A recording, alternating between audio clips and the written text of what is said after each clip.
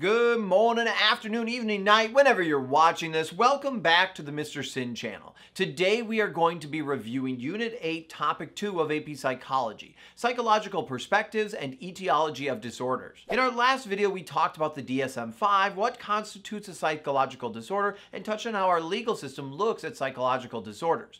Throughout this video we are going to be looking at different theoretical approaches in psychology and how they view abnormal behavior and psychological disorders. Starting out with the evolutionary approach, we can see that it often views abnormal behaviors as originating in an individual's genetics. Oftentimes, abnormal behaviors will stem from a genetic trait that has been passed on from previous generations. While the cognitive approach focuses on an individual's dysfunctional thoughts or beliefs as the cause of the psychological disorder.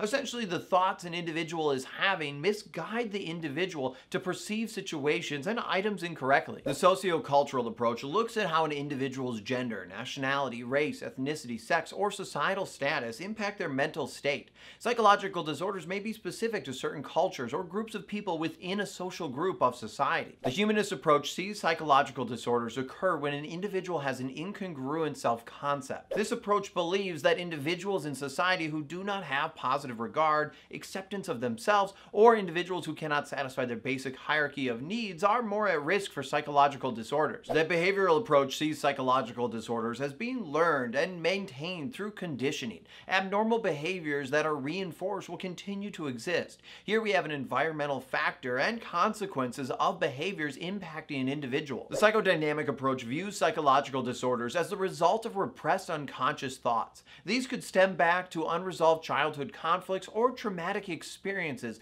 that are being repressed. The biological approach sees mental illness as a result of abnormalities that occur in an individual's nervous system or brain. This could be due to structural problems with different parts of the brain or nervous system or chemical imbalances, such as an imbalance in neurotransmitters or hormones. Or if we look at mental illness through the biopsychosocial approach, we can examine psychological disorders from a variety of perspectives. Biological influences would include an individual's evolution, genetic factors, or structures of the body. Psychological influences would include trauma or stress, and social cultural influences would be different expectations put on an individual or roles an individual has has in society. Over time, more research has been done to try and understand psychological disorders and what causes them. Through this research has emerged more and more evidence that many disorders have a biological origin.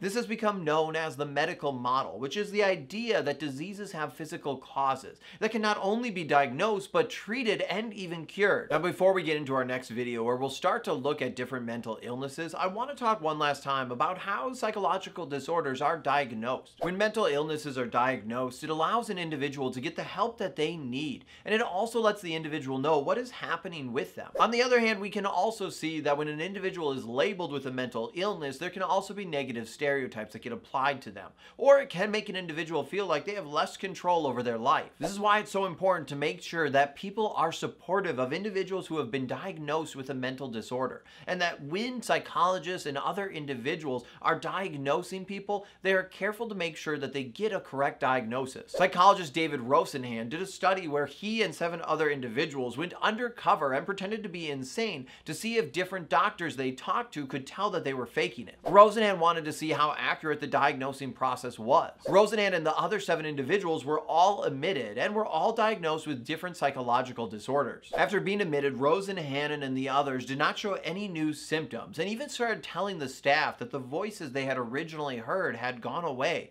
But the doctors did not believe them and continued to record their behavior as abnormal, even though they were acting normal. Rosenhan observed that the staff accepted the original diagnosis and framed their observations around it, instead of looking at the individual from an unbiased view. Rosenhan showed us just how important it is not only to correctly diagnose someone, but also how important it is to look at an individual for who they are, and not just assume that because they have a certain label, that that label defines them, or is correct. And just like that, another topic review video is done. Now you know the drill by now. Answer the questions on the screen and check your answers down in the comment section below. Also, if you found value in this video, consider subscribing. It's a great way to support the channel and it's free.